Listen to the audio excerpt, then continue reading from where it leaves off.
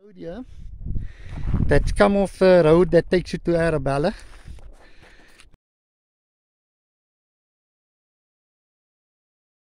Okay, and we're busy climbing still. But look at this valley down here. You know, you can hear the water flowing down there. So we're heading on up. We're going to see where this road takes us to.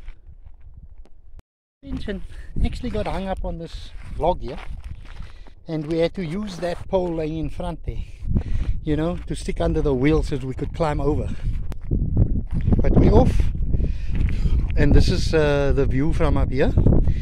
I don't know if we're on somebody's farm, but we're just exploring these roads because we're always coming by and seeing these roads, and we thought, let's go and see. That goes dead, and that goes dead as well in the forest.